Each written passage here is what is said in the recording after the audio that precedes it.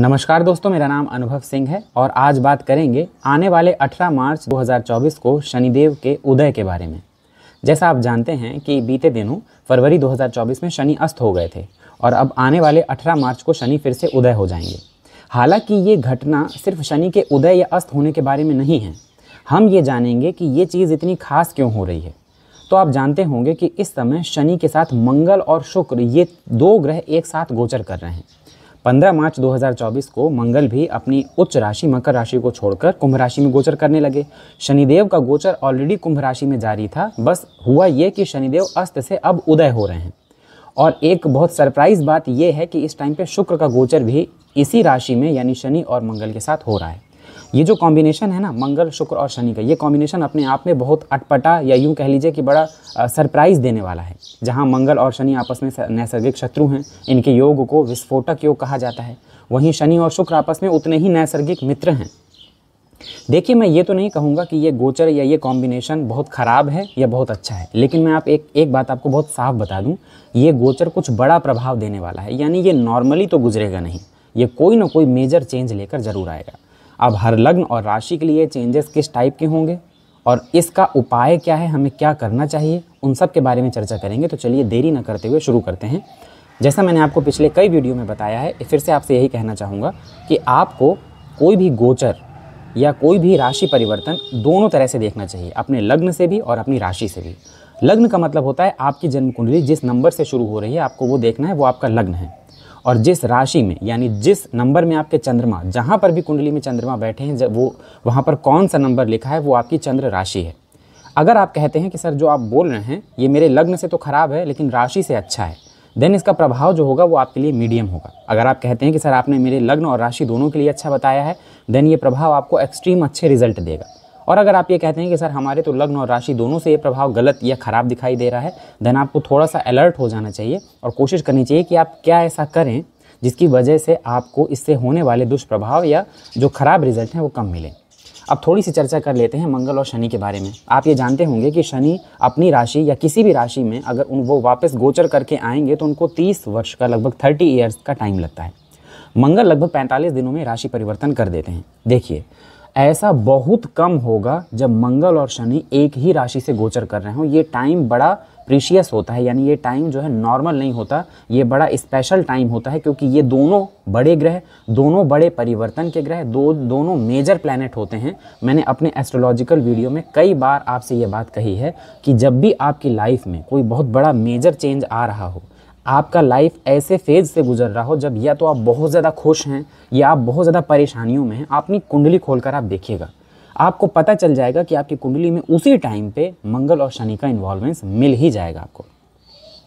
तो इसीलिए जब ये दो ग्रह इतने बड़े ग्रह या यूँ कह लीजिए इतना इम्पैक्ट डालने वाले ग्रह आपस में मिलते हैं देन ये कोई ना कोई मेजर चेंज लेकर तो आते हैं। तो चलिए देरी ना करते हुए शुरू करते हैं। टू द पॉइंट बात करने की कोशिश करेंगे और प्रयास करेंगे हर एक लग्न और राशि के लिए इसका प्रभाव कैसा होगा। सबसे पहले बात कर लेते हैं मेष राशि के लिए। देखिए, अगर आपकी जन्म कुंडली एक नंबर से शुरू हो रही है देन ये राशिफल आपको देखना है। या फिर आपकी जन्म कुंडली में जहाँ पर भी चंद्रमा बैठे हैं, अगर उधर एक नंबर लिखा है तो ये आपको देखना है। गौर से देखेंगे तो आप पाएँगे कि आपके इलेवेंथ हाउस में मंगल, शनि और शुक्र, इन तीनों का गोचर हो रहा है। मंगल की बात किया जाए तो मंगल आपके एट्थ हाउस के लॉर्ड होते हैं और फ़र्स्ट हाउस यानी लग्न के लॉर्ड होते हैं। शनि की बात किया जाए तो शनि आपके दशमेश होते हैं और खुद एक आदशेष होते हैं, यानी टेंथ हाउस और इलेवेंथ हाउस के लॉर्ड होते हैं। शुक्र की बात किया जाए तो शुक्र आपके धनेश होते हैं और साथ साथ आपके सप्तमेश होते हैं। मैं आपको अलग अलग करके बता देता हूँ, आपको तुरंत चीज़ें क्लियर हो जाएँगी। बस एक चीज़ याद रखिएगा कि जब भी इस तरह के दो भारी भरकम या इम्पैक्ट डालने वाले ग्रह एक ही भाव से गोचर करें तो आप ये ज़रूर देखा करिए कि क्या कोई ऐसा भाव तो नहीं है जिस भाव में ये दोनों ग्रह एक साथ दृष्टि डाल रहे हों। तो वैसी स्थिति में वो कौन सा भाव होगा जहाँ मंगल और शनि दोनों देखेंगे? हालाँकि वहाँ शुक्र की भी दृष्टि होगी, लेकिन पंचम भाव। फिफ्थ हाउस वो भाव है जहाँ पर ये दोनों भारी भरकम ग्रह एक साथ अपनी दृष्टि डालेंगे। यहाँ के प्रति आपको बहुत अलर्ट रहना है। शनि का आपके इलेवेंथ हाउस में अस्त हो जाना उतना अच्छा रिज़ल्ट देने वाला नहीं था। अब शनि का उदय हो जाना आपके लिए ज़्यादा अच्छा है। आपने गौर किया होगा, ये बीते दिनों में आप प्लानिंग कर रहे होंगे। मैं यूँ करूँगा तो यूँ हो जाएगा, यहाँ जाऊँगा, इससे मिलूँगा, वो हो जाएगा, लेकिन हो कुछ नहीं रहा था। आप नोटिस करिएगा इस चीज़ को। वो चीज़ में थोड़ा सा ब्रेक हो लग जाएगा, यानी अब जो आप सोचेंगे, कम से कम आप उसमें इनिशिएटिव लेंगे, और अगर आप इनिशिएटिव लेंगे तो उसमें सक्सेसफुल होने के चांस आपको रहेंगे। एक बात आपने गौर की, बीते दिनों क्या आपका स्वास्थ्य बहुत अच्छा रहा? नोटिस करिएगा कि अगर आपका खान पान रहन सहन बहुत अच्छा है, बहुत कंट्रोल्ड है तो ही आपका स्वास्थ्य अच्छा रहा होगा, नहीं ऐसा हो ही नहीं सकता कि आपके लाई हेल्थ में उतार चढ़ाव आया ना हो। ये योग ही ऐसा है। यहाँ से शनि की एक दृष्टि आपके लग्न में, एक दृष्टि पंचम में और एक दृष्टि आपके एट्थ हाउस में, अष्टम में पड़ रही है। अब शनि जब उदय हो गए हैं तो सबसे पहले तो ये आपके लाभ के रास्ते, आपकी इनकम के सोर्स खोल देंगे और एक चीज़ जो मैंने बताया, आप लूप में थे। मैं ऐसा करूँगा तो वैसा हो जाएगा, मैं ये वाला काम ऐसे कर लूँगा तो मुझे इतना प्रॉफिट हो जाएगा। सोच तो रहे थे, लेकिन आपको प्रॉफिट हो नहीं रहा था, वो चीज़ें ख़त्म हो जाएँगी। आपके कामों में एक जो एक्सट्रीम डिले चल रहा था, यानी आप देख रहे थे कि मेरा, मैं कोई भी काम करने जाता हूँ, दो दिन का काम होता है, पहले ही मालूम चल जाता है कि उसमें दसियों दिन लग जाएँगे, वो चीज़ में रोक लग जाएगी, यानी काम थोड़े से अब जल्दी होने लगेंगे। रिलेशनशिप में अगर कोई इशू आ रहा था रिलेशनशिप में बिना वजह आपके कोई परेशानी हो रही थी तो वो ठीक हो जाएगी। हेल्थ इशू जो था, वो संभलेगा। मैं ये नहीं कह रहा कि आपकी हेल्थ पूरी तरह रिकवर हो जाएगी, लेकिन यहाँ से आप रिकवर की तरफ़ बढ़ने लगेंगे। एट्थ हाउस में जो शनि की दृष्टि है, ये आपके संघर्ष को थोड़ा सा कम कर देगी। शनि उदय होने के साथ आपके जो आप मेहनत कर रहे हैं, उस मेहनत का आपको रिज़ल्ट मिलने लगेगा, जो कि अभी तक आप सिर्फ़ हाथ पाँव मार रहे थे, आपको रिज़ल्ट मिल नहीं रहा था। इस दौरान आपने थोड़ा सा इमोशनल इम्बैलेंस महसूस किया। ऐसा आपको लगा कि आपकी भावनाएँ, आपकी फीलिंग जो है, वो एक एक साइड नहीं रह पा रही हैं, आप एक जैसा नहीं सोच पा रहे हैं उथल पुथल है आपके अंदर, वो चीज़ कंट्रोल में आ जाएगी। अब देखिए, मंगल यहाँ से आपके धन को, पंचम को और इसके साथ आपके छठे को देखेंगे, ये आपके लिए अच्छा है। मंगल और शनि मिल के जो कॉम्बिनेशन बनाएँगे तो ये आप मान के चलिए, जितने भी मेष लग्न और मेष राशि के लोग हैं, आपकी इनकम में, आपके वृद्धि में, आपकी इच्छा पूर्ति में कोई ना कोई इजाफा होने वाला है। अगर आप कोई काम मेहनत से कर रहे हैं, ये वो टाइम होगा, जिस टाइम पे आपको अचानक से देखिएगा कोई बड़ा लाभ हो जाएगा। आप अगर मेहनती हैं, आप कोई बिज़नेस कर रहे हैं तो बिज़नेस में आपको अचानक से ग्रोथ देखने के लिए मिलेगी। आप जॉब कर रहे हैं तो आप 100 परसेंट इंक्रीमेंट या प्रमोशन का एक उम्मीद लगा सकते हैं कि हाँ आपको प्रमोशन मिलेगा। कोई भी ऐसा काम जो पहले आपका डिले हो रहा था, इस दौरान पूरा होने के पूरे चांस हैं। ये जो मंगल और शनि का इलेवेंथ हाउस में गोचर है ना, ये, जो इलेवेंथ हाउस होता है, ये इच्छा पूर्ति का भाव कहा जाता है। इसी वजह से कहते हैं कि इस भाव से जब कोई ग्रह गोचर करता है तो ये नुकसान कम देता है प्रॉफिट ज़्यादा देता है। हाँ एक ड्रॉबैक था कि शनि आपके अस्त हो रहे थे तो वो ड्रॉबैक भी अब खत्म है। 18 मार्च से शनि उदय हो जाएँगे। यानी ऑल ओवर अगर कहा जाए तो मेष लग्न और मेष राशि के लोगों के लिए शनि का उदय होना प्रॉफिटेबल ज़्यादा है, यानी आपको प्रॉफिट ज़्यादा होगा, नुकसान कम होगा। अब नुकसान सुन लीजिए, किस क्षेत्र में होगा। सबसे पहले तो आपको अपनी हेल्थ का ख्याल रखना है और मैंने कई बार बताया, शनि की लग्न में दृष्टि होने का मतलब है कि हेल्थ में कोई मेजर प्रॉब्लम नहीं होगी, लेकिन छुटपुट ऐसी चीज़ें होती रहेंगी जिससे आपका पैसा भी जाएगा और टाइम भी जाएगा। दूसरा, जब भी आपको लगे कि मेरे काम में डिले हो रहा है तो उसको ये सोच कर मत छोड़िएगा कि डिले हो रहा है तो बाद में देखेंगे। अभी ही लगिए उस काम में, अभी ही प्रयास करिए, आपको उसमें सफलता मिलेगी। फिफ्थ हाउस में इन दोनों ग्रहों की दृष्टि उन लेडीज़ के लिए बिल्कुल अच्छी नहीं है, जो या तो बेबी प्लान करने के लिए सोच रही हैं, या उन्होंने ऑलरेडी उन्होंने कंसीव कर लिया है, या प्रेग्नेंट हैं, उनके लिए ये टाइम जो है बहुत प्रिकॉशन रखने वाला होगा, क्योंकि इसमें आपके हेल्थ खास तौर पे प्रेगनेंसी में आपके प्रॉब्लम हो सकती है। और यहाँ तक कि हालत बिगड़ने पर मिसकैरेज जैसी स्थितियाँ भी पहुँच सकती हैं, अगर आपकी अपनी जन्म कुंडली में स्थितियाँ बहुत ख़राब हैं। इस दौरान आप अपने लाभ से, यानी जो इनकम है, जैसे अभी तक अगर आपके ऊपर कोई कर्ज था, या अभी तक आपको कुछ लोग परेशान कर रहे थे, अचानक आप देखेंगे कि आप धीरे धीरे खुद, बिना कुछ किए उनके ऊपर हावी होने लगे। क्यों? क्योंकि आप कॉन्फिडेंस लेवल जो है वो इंक्रीज़ हो जाएगा। अगर कोई तंत्र मंत्र ज्योतिष या एस्ट्रोलॉजी ये सीखना चाह रहे हैं, या इसको एज अ करियर आप इस्तेमाल करना चाह रहे हैं, शुरू करना चाह रहे हैं, उसके लिए भी ये टाइम अच्छा है। इनकम के लिए तो ये गोचर बहुत अच्छा है, लेकिन आपके पर्सनल रिलेशन आपकी हेल्थ खास तौर पे आपको इमोशनल जो आपका एक बैलेंस है, उसको ये गोचर जो है बिगाड़ सकता है। इस दौरान आपको सबसे ज़्यादा ध्यान देना है अपने द्वारा लिए गए फैसलों पे। ये वो टाइम होगा कि अगर आपने इमोशनल या भावना में बह के कोई फैसला ले लिया, यही फैसला आपको बाद में सोचने के लिए मजबूर कर देगा।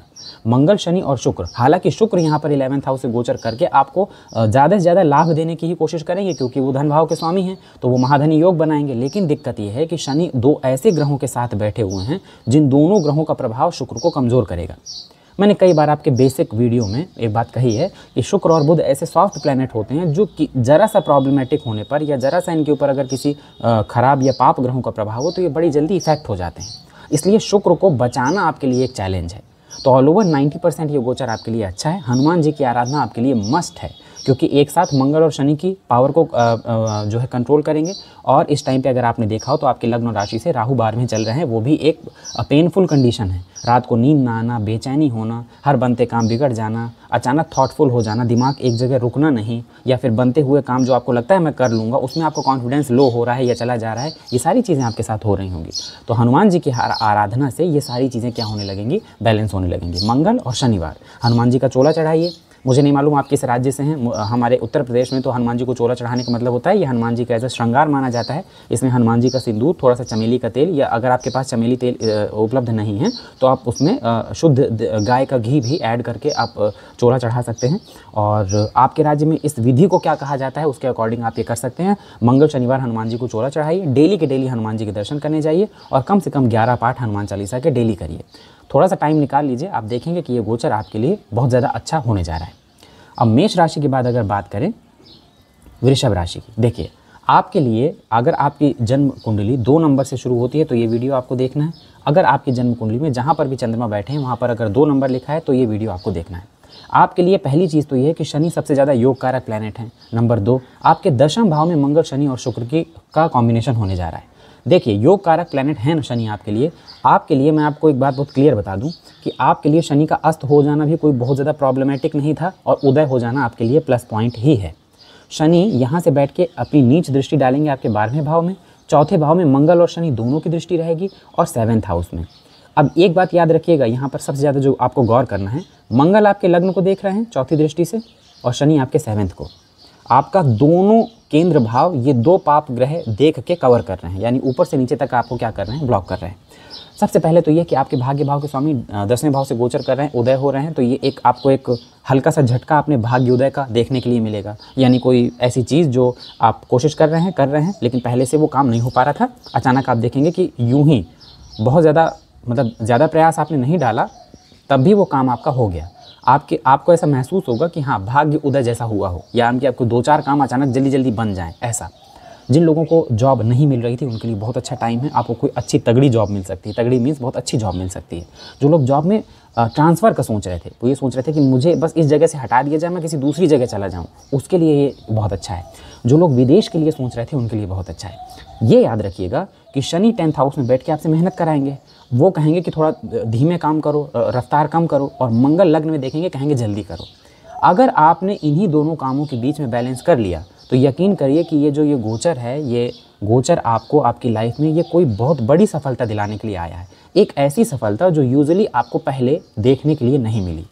अगर आपने किसी गवर्नमेंट एग्ज़ाम को मेहनत से, एग्ज़ाम के लिए पढ़ाई की है और उसका रिज़ल्ट इसी बीच आना है तो आप ये मान के चलिए कि 99.9 परसेंट चांसेस हैं कि आप उस एग्ज़ाम में सिलेक्ट हो जाएँगे। अगर आपने किसी जॉब के लिए अप्लाई किया है इंटरव्यू दिया हुआ है, उसके रिज़ल्ट नहीं आए, तब भी इसके 90 परसेंट चांसेस हैं कि आपको उस इंटरव्यू में सिलेक्ट कर लिया जाएगा। अगर आप किसी बिज़नेस को शुरू करने के लिए सोच रहे थे तो ये बिल्कुल सही टाइम है आप उस बिज़नेस को शुरू कर सकते हैं। आप देखेंगे कि आपको शुरुआत से ही उस बिज़नेस में अच्छे रिज़ल्ट देखने के लिए मिले। शनि की बात किया जाए तो शनि आपके नाइन्थ और टेंथ हाउस के लॉर्ड होते हैं। मंगल की बात किया जाए तो मंगल आपके बारहवें और सप्तम भाव के स्वामी होते हैं। शुक्र की बात किया जाए तो शुक्र आपके खुद लग्नेश और सप्तमेश होते हैं। अगर आप देखें तो मंगल और शनि दोनों आपके फोर्थ हाउस में देख रहे हैं। फोर्थ हाउस शनि के लिए, क्योंकि शनि क्षेत्र के कारक होते हैं, इसलिए चौथा भाव शनि के लिए भी अच्छा है, और चौथे भाव में मंगल की दृष्टि भी बहुत अच्छी है। किस लिए? प्रॉपर्टी के लिए। जो लोग भी कोशिश कर रहे थे कि एनी हाउ हमको हमारा घर मिल जाए, आप देखेंगे कि इसी दौरान आप अपने घर में गृह प्रवेश करते हुए दिखाई देंगे। ये वही टाइम है जिस टाइम पे प्रॉपर्टी से जुड़ा अगर कोई विवाद है, वो भी सॉर्ट आउट हो जाएगा। प्रॉपर्टी खरीदना चाह रहे थे, वो भी आप खरीद लेंगे। बस आपको अपनी मेहनत मतलब अपनी कोशिश जो है वो कम नहीं करनी। जैसे कई बार ऐसा होता है, हम कोई चीज़ करना चाहते हैं और उसके लिए हम लगातार कोशिश कर रहे हैं, लेकिन हमको अच्छे रिज़ल्ट नहीं मिल रहे या हमको बेहतर ऑप्शन नहीं मिल रहा है वो ऑप्शन आपको दिखाई देने लगेंगे। देखिए, समाज में मान सम्मान, पद प्रतिष्ठा के लिए ये योग तो अच्छा है ही। साथ में ये किसी भी तरह की प्रॉपर्टी, वाहन या कोई गाड़ी खरीदना चाहते हैं, घर बनाना चाहते हैं, उसके लिए भी बहुत अच्छा है। हाँ मैं इसके लिए कहूँगा कि क्योंकि चौथे भाव में शनि और मंगल दोनों की दृष्टि है तो इस टाइम पर आपको दो चीज़ों का बहुत ख्याल रखना है। एक अपने मदर की हेल्थ का और एक अपने फादर की हेल्थ का। सेम एज दो चीज़ें आपको और ध्यान रखनी अगर आपकी कुंडली में भी बिगड़े हुए मंगल और शनि हैं तो ये याद रखिए कि आपको अपने मदर और फादर अपने पेरेंट्स से अपना रिश्ता अच्छा रखना है। छोटी सी छोटी प्रॉब्लम भी अगर उनको हेल्थ में हो रही है देन तुरंत आप उनको मेडिकल फ़ील्ड या मेडिकल जो है आप ले जाइए और उनका चेकअप कराइए। मतलब किसी भी चीज़ को आप हल्के में मत लीजिएगा कि यूँ ही होगा, ठीक हो जाएगा। आपकी जो लाइफ पार्टनर है, क्योंकि आप शनि की एक दृष्टि आपके सेवन्थ हाउस में भी है तो ये बिज़नेस के लिए तो बहुत अच्छी है। जो लोग बिज़नेस कर रहे हैं, उनको बिज़नेस में ग्रो मिलेगा, जो शुरू कर रहे हैं बिज़नेस उनके लिए भी अच्छा है। लेकिन ये उन लोगों के लिए बिल्कुल अच्छा नहीं है, जिनको, जिनकी हाल ही में शादी हुई है। ये आपके लाइफ पार्टनर और आपके बीच में मनमुटाव या आपकी लाइफ पार्टनर के हेल्थ में इशूज़ क्रिएट कर सकते हैं। मंगल वहीं आपके फिफ्थ हाउस में भी देख रहे हैं और मैंने आपको बताया ना ईगो के चलते कोई निर्णय मत लीजिएगा। अगर आपकी किसी से बहस भी होती है तो ईगो के चलते आप सोचें कि हम ही इसको दबा ले जाएँगे। ऐसे थॉट मत लाइएगा, क्योंकि यहाँ पर आपको परेशानी देखने को मिल सकती है। ऑल ओवर इसके अलावा वृषभ राशि के लिए ये गोचर ज़बरदस्त होने जा रहा है। आप ये खुद देखेंगे कि अगर आप मेहनती हैं, अगर आप कर्मठी हैं, यानी कर्म करना जानते हैं देन ये गोचर आपको कोई बड़ी सफलता ज़रूर दिलवाएगा। वृषभ राशि के बाद अगर बात करें, मिथुन राशि की, देखिए, अगर आपकी, जिनकी भी जन्म कुंडली तीन नंबर से शुरू होती है। अगर आपकी जन्म कुंडली तीन नंबर से शुरू होती है, या आपकी जन्म कुंडली में जहाँ पर भी चंद्रमा बैठे हैं, वहाँ पर अगर तीन नंबर लिखा हुआ है तो ये राशिफल आपको देखना है। शनि, मंगल और शुक्र का गोचर आपके नाइन्थ हाउस से, यानी भाग्य भाव से होने जा रहा है, जहाँ पर शनि आपके भाग्येश ही होते हैं, यानी भाग्य भाव का स्वामी भाग्य भाव में ही गोचर कर रहे हैं। इसके अलावा शनि एट्थ हाउस के भी लॉर्ड हैं। मंगल की बात किया जाए तो मंगल आपकी जन्म कुंडली के छठे भाव के स्वामी हैं, और मंगल आपकी जन्म कुंडली के लाभ भाव के स्वामी हैं। इसके अलावा शुक्र की बात किया जाए तो शुक्र आपके बारहवें के स्वामी हैं और शुक्र आपके पंचम के स्वामी हैं। ये जो गोचर है, या यूँ कह लें कि पहले शनि के उदय होने की अगर बात किया जाए तो उदय होना आपके लिए सेम जैसा मैंने वृषभ लग्न के लिए बताया कि शनि का अस्त हो जाना आपके लिए कोई प्रॉब्लमेटिक सीन नहीं था और शनि का उदय हो जाना आपके लिए और प्रॉफिट देने वाला ही है। दूसरी चीज़ ये है कि जब भी आप देखिएगा छठे भाव का स्वामी नाइन्थ हाउस से गोचर करता है, मंगल जैसे ग्रह, तब ये आपके भाग्य के दम पे आपकी परेशानियों को दूर करने वाला होता है। जैसे, मैं आपको बताता हूँ, छठे भाव से क्या क्या देखते हैं? छठे भाव से देखते हैं बीमारियाँ, छठे भाव से देखते हैं आपके कर्जे, छठे भाव से देखते हैं आपके शत्रु। अब आप देखेंगे कि अगर कोई व्यक्ति आपके जबरन पीछे पड़ा था या किसी से आपकी दुश्मनी चल रही थी, मान लीजिए कोई कोर्ट केस ही क्यों ना था तो आप देखेंगे कि उस कोर्ट केस में अब आप जीतने की तरफ़ आगे बढ़ेंगे। उस कोर्ट केस में जो फैसला है, वो आपके पक्ष में आने के चांसेस बढ़ जाएँगे। अगर कोई बेवजह आपको परेशान कर रहा था, आप देखेंगे कि ऑटोमेटिक उसने अपना रास्ता आपसे काट लिया। वो अलग हो गया एंड उसने आपको परेशान करना बंद कर दिया। कोई कर्ज था जिसे आप चुकता करने की कोशिश कर रहे थे? आप सोचते थे, मैं पैसा कहीं से अरेंज कर लूँ उसको दे दूँगा, लेकिन पैसा अरेंज हो नहीं पा रहा था, जिसकी वजह से आपके ऊपर इनडायरेक्टली क्या था? प्रेशर था। यानी आपको कर्ज से परेशानी थी। वो कर्ज अब चुकता हो जाएगा। क्यों चुकता हो जाएगा? क्योंकि इसमें आपका भाग्य ऐड है। आपका भाग्य जो है वो अब आपका साथ देने लगेगा, जिसकी वजह से ये तीनों परेशानियाँ आपकी दूर हो जाएँगी। भाग्य भाव में शनि ऑलरेडी गोचर कर रहे थे, उदय होंगे देन ये भाग्य को और बूस्ट कर देंगे।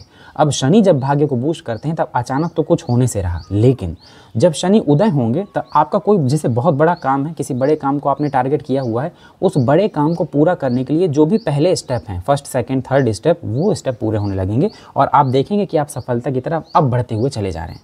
शुक्र का नाइन्थ हाउस में गोचर कहना ही नहीं है, बहुत बढ़िया है, क्योंकि शुक्र का नाइन्थ हाउस से गोचर ये दिखाता है कि जो लोग फॉरेन ट्रिप करना चाह रहे थे, जो लोग कुछ दिनों के लिए विदेश जाना चाह रहे थे, चाहे वो अपने काम के सिलसिले में ही क्यों ना हो, ये उनके लिए अच्छा है।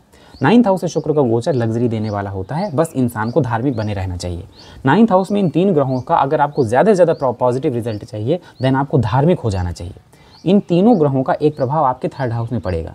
ऐसा पराक्रम आपने पहले महसूस नहीं किया होगा जो पराक्रम अब आप महसूस करेंगे। क्योंकि मंगल और शनि जैसे दो इंटेंस प्लैनेट आपके थर्ड हाउस को देख रहे हैं, जिसकी वजह से आप देखेंगे कि कोई बड़े बड़े काम, जो अगर आपको पहले दिए जाते तो शायद आप मना कर देते कि मुझसे हो नहीं पाएगा, वही बड़े काम अब बहुत आसानी से आप चुटकी बजाते सॉल्व कर लेंगे। हाँ थर्ड हाउस आपके छोटे भाई बहनों का है तो इस दौरान बस ये चीज़ आपको ध्यान रखनी है कि अपने छोटे भाई बहनों से आपके जो रिलेशन है, वो रिलेशन ज़्यादा खराब ना हो। आपने देखा शनि नाइन्थ हाउस में गोचर करते हुए आपके छठे भाव में दृष्टि डालेंगे। छठे भाव के ही स्वामी हो रहे हैं मंगल, जो कि नाइन्थ हाउस में बैठे हुए हैं।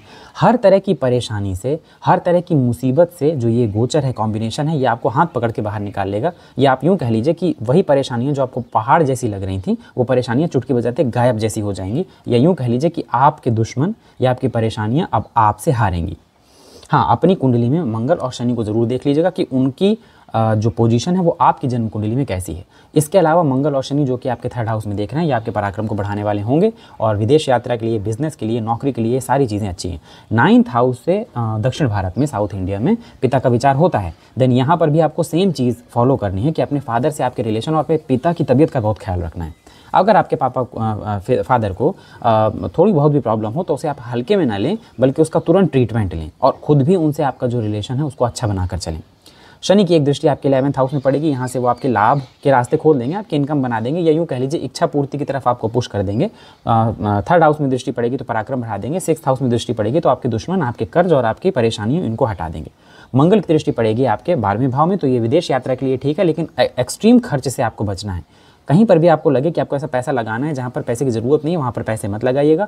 मंगल की एक दृष्टि थर्ड हाउस में पड़ेगी, ये भी आपके इम्यूनिटी को, आपके पराक्रम को बूस्ट करने वाला होगा। फोर्थ हाउस में मंगल की दृष्टि, क्योंकि वो भाग्य भाव में बैठे हैं तो ये प्रॉपर्टी के लिए अच्छा है। कोई घर या गाड़ी अगर खरीदना चाह रहे थे तो खरीद सकते हैं, या कोई ज़मीन वगैरह खरीदना चाह रहे थे तो उसके लिए भी बहुत अच्छा है। प्रिकॉशन के तौर पर जैसा मैंने आपसे कहा, हनुमान जी की आराधना, मंगल टू शनिवार जाके हनुमान जी को चोरा चढ़ाना, और कम से कम ग्यारह पाठ हनुमान चालीसा के डेली करना, आपको हर तरह की परेशानियों से न सिर्फ़ बाहर निकालेगा, बल्कि इस कॉम्बिनेशन के ज़्यादा से ज़्यादा पॉजिटिव रिज़ल्ट आपको देखने के लिए मिलेंगे। मिथुन राशि के बाद अगर बात किया जाए कर्क राशि के लिए, देखिए, कर्क राशि वालों के लिए जो ये गोचर है, ये इनके एट्थ हाउस में हो रहा है। अगर आपकी जन्म कुंडली चार नंबर से शुरू होती है तो ये राशिफल आपको देखना है। अगर आपकी जन्म कुंडली में जहाँ पर भी चंद्रमा बैठे हैं, वहाँ पर चार नंबर लिखा है तो ये राशिफल आपको देखना है। एट्थ हाउस में गोचर मैं बहुत अच्छा नहीं मानता। कुछ एक मामलों को छोड़ दिया जाए तो एट्थ हाउस का गोचर आपको थोड़ा सा परेशानी देने वाला होगा। देखिए, शनि आपके सेवन्थ हाउस के लॉर्ड होते हैं और एट्थ हाउस के लॉर्ड होते हैं। यहाँ पर वो उदय हो रहे हैं। इसके अलावा मंगल आपके टेंथ हाउस के लॉर्ड होते हैं और आपके फिफ्थ हाउस के लॉर्ड होते हैं। शुक्र की बात किया जाए तो शुक्र आपके इलेवेंथ हाउस के लॉर्ड होते हैं और फोर्थ हाउस के लॉर्ड होते हैं। एट्थ हाउस में मंगल, शनि और बुध शुक्र का गोचर सबसे पहले तो आपको अचानक होने वाले बदलाव के प्रति सचेत रहना है। अचानक होने वाला बदलाव दोनों तरह से हो सकता है पॉजिटिव भी नेगेटिव भी। देखिए, मैं आपको यहाँ पर डरा डरा नहीं रहा हूँ, लेकिन मैं आपको एक बात बहुत क्लियर बता दूँ। अगर आपकी पर्सनल जन्म कुंडली में शनि और मंगल इनकी बिगड़ी हुई स्थिति है तो अब तो आपको थोड़ा सा अलर्ट हो जाना चाहिए। आ, अपनी सेहत का खास तौर पे बाहर जब आप निकलें घर से गाड़ी चलाने में रोड में भी इवन अगर आप पैदल चल रहे हैं तो बहुत अलर्ट होकर चलें। ईयरफोन वगैरह ना लगाएँ रोड में चलते हुए यानी आपको अपना पूरा ख्याल रखना है। जब भी हमारे साथ कोई भी ऐसी चीज़ होती है जो हमारे मन मुताबिक ना हो या जिससे हमें नुकसान हो तो हम बोलते हैं दुर्घटना हुई। दुर्घटना का मतलब ये बिल्कुल नहीं होता कि आप रोड में चल रहे हैं, कोई गाड़ी आपको ठोक दे, वही दुर्घटना है। दुर्घटना का मतलब ये है, होता है कि जब आपके साथ कोई भी ऐसी घटना हो जाए जिससे आपको नुकसान हो या आपको अच्छा ना लगे, वो आपके लिए एक दुर्घटना जैसी ही है। मेंटल स्ट्रेस, टेंशन एनजाइटी या अचानक नींद का ना आना, अचानक परेशानियों की वजह से आपका डिप्रेशन में चला जाना, ये सारी चीज़ें मंगल, शनि और शुक्र का एट्थ हाउस में जाना दिखा रहा है। एट्थ हाउस में ये गोचर आपको अचानक परिवर्तन को भी दिखा रहा है। मंगल, शुक्र मंगल और शनि अगर अपनी कुंडली में अच्छे हैं तो ये पॉजिटिव हो सकता है, लेकिन उसके चांसेस कम है। नेगेटिविटी की तरफ़ ये थोड़ा सा ज़्यादा ले जा रहा है, इसलिए कर्क राशि या कर्क लग्न ही वो लग्न है, जिसको इस गोचर के दौरान थोड़ा सा अलर्ट रहने की ज़रूरत है। शनि यहाँ से तीसरी दृष्टि आपके टेंथ हाउस में डालेंगे, जो कि उनकी नीच दृष्टि है तो सीधी सी बात है आपके वर्क प्लेस में, क्योंकि कर्क लग्न में शनि कारक नहीं होते। इस वजह से ये आपके जो संघर्ष है, जो आपका स्ट्रगल है, उसे बढ़ा देंगे। शनि का अस्त हो जाना आपके लिए ज़्यादा अच्छा था। शनि का उदय होना कोई खास आपके लिए बेनिफिशियल नहीं है। शनि की एक दृष्टि आपके टेंथ हाउस में पड़ेगी, संघर्ष को बढ़ा देंगे। एक दृष्टि आपके सेकंड हाउस में पड़ेगी, जहाँ पर मंगल भी देख रहे हैं। यहाँ पर आपको कड़वी वाणी से बचना है और पैसे सेविंग करने की कोशिश करना है। जहाँ पे ज़रूरत है, केवल वहाँ पर अपने पैसे खर्च करें, बेवजह ना किसी को पैसा दें और ना किसी ऐसी जगह पैसा खर्च करें जहाँ पर आपको लगता है, चलो खर्च कर देते हैं, क्या ही हो जाएगा? छोटे छोटे जगहों से आपको पैसा सेव करना है, यानी पैसा अपने आपको सही जगह इन्वेस्ट करना है।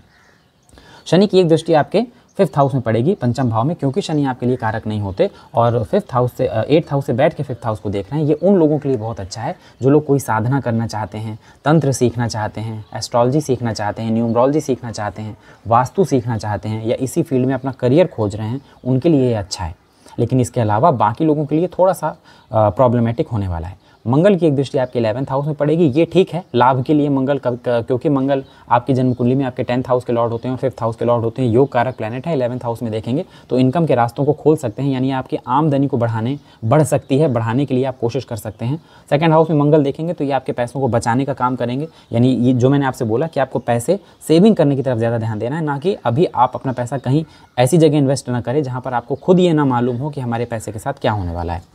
एक दृष्टि मंगल की आपकी थर्ड हाउस में पड़ेगी। मंगल की थर्ड हाउस में दृष्टि बहुत अच्छी मानी जाती है। ये पराक्रम को बढ़ाने वाला होता है। और यूजुअली इस टाइम पे जब मंगल थर्ड हाउस को देख रहे हैं या थर्ड हाउस से संबंध बना रहे हों, इंसान ऐसे काम कर गुजरता है जिस काम की उसे खुद उम्मीद नहीं होती कि हम कर पाएँगे। तो ऑल ओवर कर्क लग्न और कर्क राशि के लिए गोचर कोई बहुत अच्छा नहीं है। आपको इस टाइम पे उपायों की तरफ़ ज़्यादा ध्यान देना चाहिए और उपाय, सबसे अच्छा उपाय हनुमान चालीसा। डेली कम से कम 11 बार हनुमान चालीसा के आपको पाठ करने हैं और कोई भी देवी आराधना जो भी आप जिन भी देवी की आराधना करते हैं उनकी आराधना आप डेली करें। घी का दिया शाम को मतलब डेली आपको शाम को घी का दिया पीपल के पेड़ के नीचे जलाने जाना है और कोशिश करिए कि कम से कम ग्यारह आप उनकी परिक्रमा जो है ग्यारह बार उस पेड़ की परिक्रमा करें और कुछ देर वहाँ पर बैठ के कोई भी मंत्र जो आप जपते हैं उसका आप जप करें। आपको आ, ये जो इससे नुकसान होने वाले हैं ये नहीं मिलेंगे या कम मिलेंगे। हाँ प्रॉफिट जो है आपको जो मिलना चाहिए था वो प्रॉफिट आप तक पहुँच जाएगा। कर्क राशि के बाद बात करें अगर सिंह राशि की। देखिए, अगर आपकी जन्म कुंडली पाँच नंबर से शुरू होती है, या आपकी जन्म कुंडली में जहाँ पर भी चंद्रमा बैठे हैं, अगर उधर पाँच नंबर लिखा है तो ये राशिफल आपको देखना है। मंगल, शनि और शुक्र का जो कॉम्बिनेशन है आपके सेवन्थ हाउस में हो रहा है। शनि आपके सिक्स हाउस के और सेवन्थ हाउस के लॉर्ड होते हैं। मंगल की बात किया जाए तो मंगल आपके भाग्य भाव के स्वामी होते हैं और इसके साथ साथ फोर्थ हाउस के स्वामी होते हैं। शुक्र की बात किया जाए तो शुक्र आपके टेंथ हाउस के लॉर्ड होते हैं और आपके पराक्रम भाव के स्वामी होते हैं।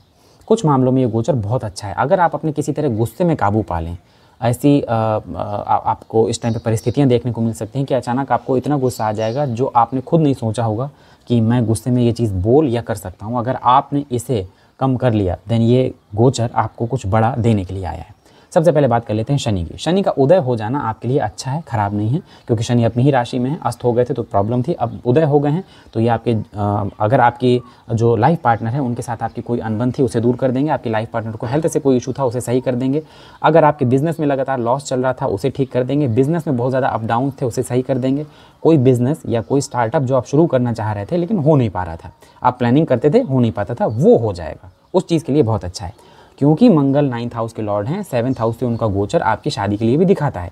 जो लोग शादी करना चाह रहे थे, वो अब इनिशिएटिव ले सकते हैं। हालाँकि अभी तो फ़िलहाल ऐसे दिन नहीं चल रहे हैं जिसमें आपको कोई अच्छे काम के लिए इनिशिएटिव लेना हो, लेकिन कम से कम आप आगे बढ़ सकते हैं और ये कन्फर्म हो सकते हैं कि आपको शादी करना है। यानी कुल मिला जिन लोगों की शादी नहीं हुई, उनके लिए शादी का ये योग लेकर आ रहा है और बहुत अच्छा शादी का योग बन रहा है। अब क्योंकि शुक्र आपके टेंथ हाउस के लॉर्ड होकर सेवन्थ हाउस में गोचर कर रहे हैं तो एक तो ये आपकी विदेश यात्रा के लिए बहुत अच्छा है, दूसरा ये आपके बिज़नेस पर्पज के लिए बहुत अच्छा है। सेवन्थ हाउस में इतने ग्रहों का गोचर मैं मानता हूँ कि उन लोगों के लिए ज़्यादा अच्छा है जो लोग खुद का कोई काम कर रहे हैं या जो लोग जॉब भी कर रहे हैं, उनके लिए भी कहीं ना कहीं ये गोचर ठीक होने वाला है। आप प्रमोशन और इंक्रीमेंट का उम्मीद कर सकते हैं। मंगल, शुक्र और शनि का जो सीधा संबंध बनेगा, वो आपके लग्न से बनेगा। और मैंने कई बार आपको बोला कि जब भी मंगल और शनि की इस तरह के इंटेंसिव प्लानट आपके लग्न को देखें, तब सबसे ज़्यादा चैलेंजिंग हो जाता है खुद के ऊपर काबू रखना। आपको अभी ये सुनने में लग रहा होगा कि हाँ कोई वीडियो चल रहा है वीडियो में तो ऐसा बोला जा रहा है, हम क्यों गुस्सा करेंगे या हमें क्यों गुस्सा आएगा?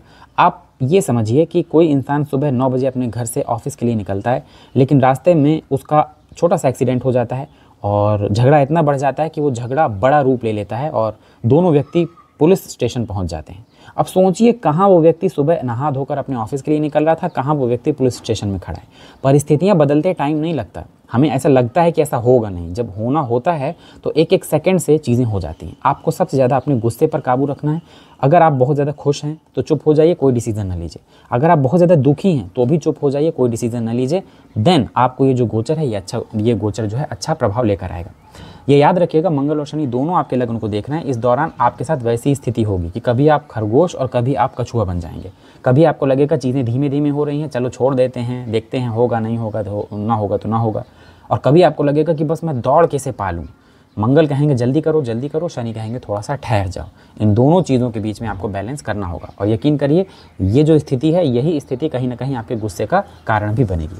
तो ऑल ओवर सिंह लग्न और सिंह राशि के लिए ये गोचर जो है, मेरे हिसाब से ये गोचर आपके लिए बहुत फलदायी गोचर है। यानी आपकी इच्छा, इच्छाएँ पूर्ति करने वाला ये गोचर आपको कुछ देने के लिए आ रहा है। आपके नाम, शोहरत, आपके धन में पद प्रतिष्ठा में वृद्धि करने आ रहा है। अब चाहिए आपको तो सिर्फ़ इतना चाहिए कि आप अपने गुस्से पे काबू रखें।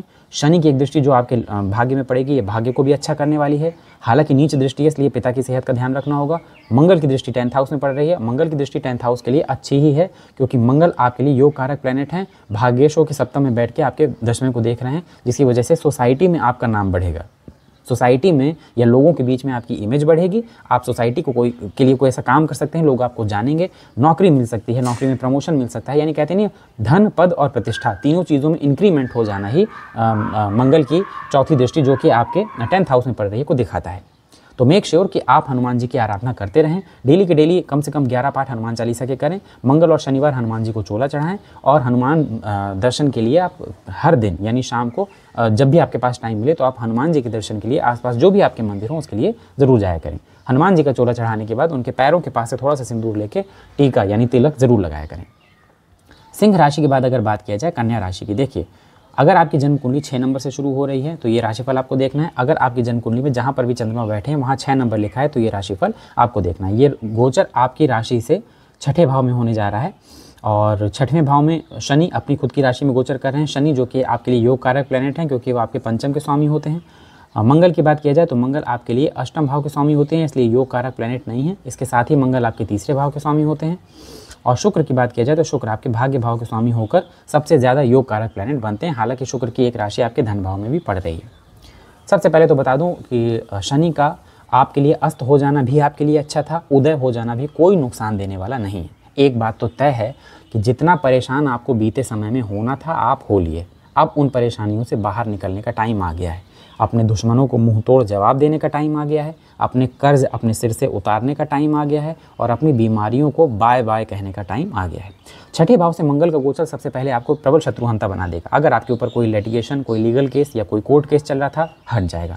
अगर आपको कोई परेशान कर रहा था ऑटोमेटिक वो अपना रास्ता बदल देगा या फिर उसे आपसे हारना होगा, तभी वो आपके करीब आएगा।